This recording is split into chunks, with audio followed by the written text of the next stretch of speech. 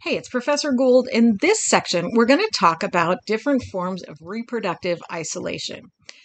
Um, so, now, reproductive isolation is some kind of mechanism that separates a population into two species so that they cannot mate with each other and produce fertile offspring. We categorize these rather depending on when the mechanism works, a prezygotic barrier is before the formation of a zygote. Remember, a zygote is a fertilized egg. So that's something that prevents mating or prevents the fertilization of that egg. And then a post zygotic barrier is something that prevents that embryo or fetus from developing or something that makes the hybrid individual sterile. So horses and donkeys have a post zygotic barrier. The mule can grow up into a perfectly healthy individual, but it is sterile. So there is a post zygotic barrier between horses and mules. Okay. Um, so uh, post zygotic barriers, we're not going to really talk about those. Um, they're a little more complicated. Uh, than this class, but we have lots of pre-zygotic barriers to talk about. The first is temporal isolation, which is a difference in breeding schedule.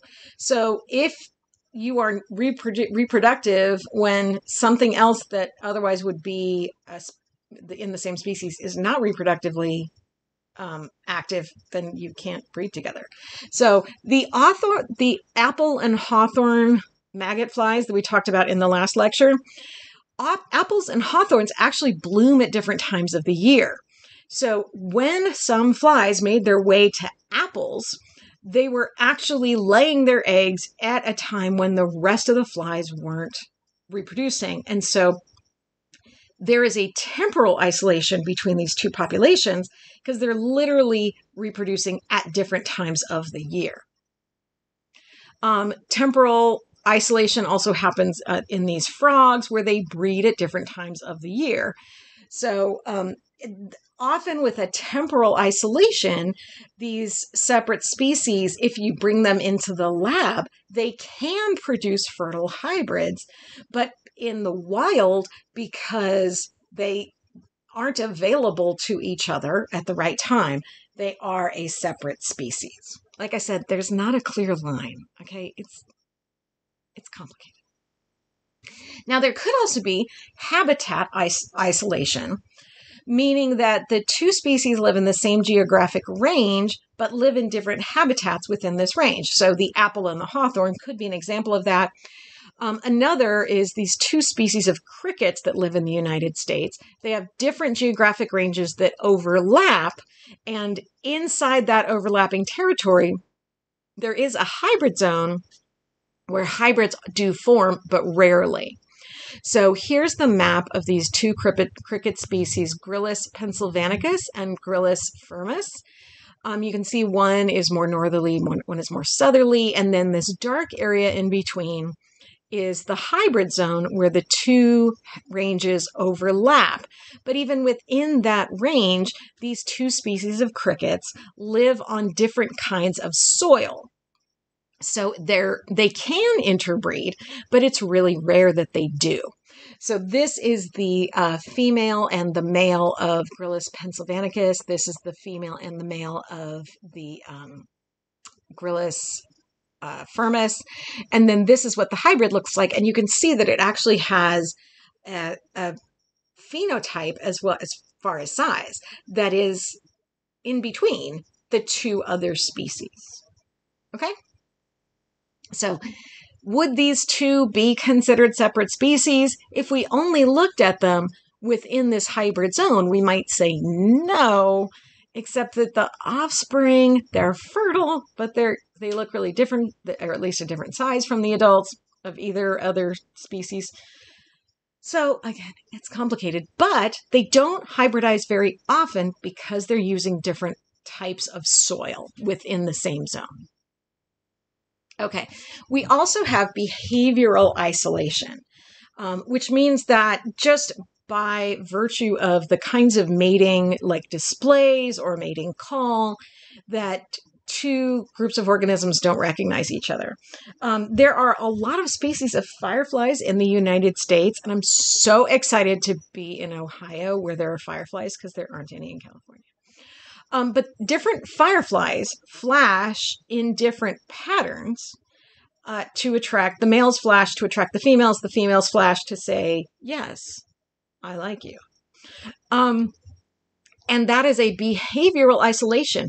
They can live in exactly the same area, but they won't breed together because they don't recognize each other as the same species because of that flashing pattern.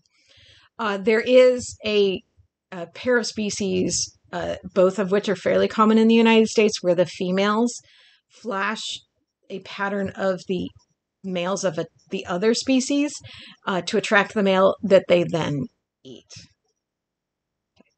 Um, I am going to post a video about firefly flashing that is actually pretty cool, so watch that as well. Now, there can be gametic barriers, difference in uh, the gametes that prevent fertilization, like the something about the uh, coating or the jelly coat on an egg doesn't react to the sperm. Again, these are complicated and beyond the range of this class. Um, there are very frequently phenotypic barriers, so that even when um, two different species, like behaviorally they will try to mate but literally the genitalia don't fit together. So it turns out that with insects genitalia is really complicated. Um, and in fact several species of insects can only be distinguished by the genitalia. Yeah i know. So these are damselflies. Damselflies are kind of like dragonflies and you can see that there's a lot of variation. Um, these are all different species um, in the male genitalia. Uh, and the female genitalia is only going to be able to fit the male genitalia of one species. Like if this guy tries to mate with this female, that the female that matches this, it's not gonna fit. Like it's literally not gonna fit. So uh, that would be a phenotypic barrier um, that would obviously prevent uh, an actual mating. With plants, a lot of plants have flowers that are adapted to very specific pollinators. So, for example, um, long, narrow flowers can be pollinated by either hummingbirds or bees. But if the flowers are really narrow, then the bees can't get in there. They're actually too fat, too wide. I shouldn't say fat, that feels judgy. Um, but the hummingbirds have these long tongues that can get into that very narrow flower.